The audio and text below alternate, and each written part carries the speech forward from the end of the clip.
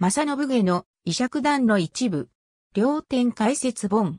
暁晴れ沖な、著述、松川半山、がと、正信家君独図へ1858年より、山科本願寺で、正信家の読書を練習する男女。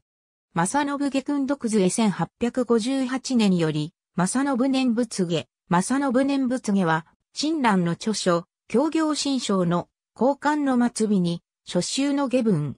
一般には略して、正信家の名で親しまれている。新州の容疑大綱を7個と60行120句の下文にまとめたものである。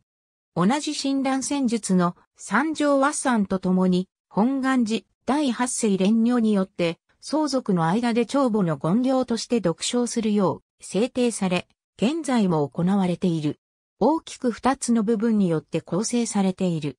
総賛の二区に続く前半は、絵教団と言われ、仏説無料十景によって明らかにされている、浄土王城の正頼は信心であり、念仏は法音行であることを説明し散端している。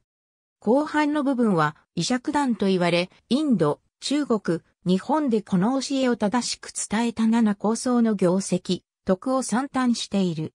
正信家の読書は、独特の旋律に乗せた声明でなされることが多い。読書の旋律は各派ごとに異なる。また各派ごとに3から10種類程度の旋律が定められており、読書の TPO によって使い分けられる。以下、主な旋律を挙げる。ありがとうございます。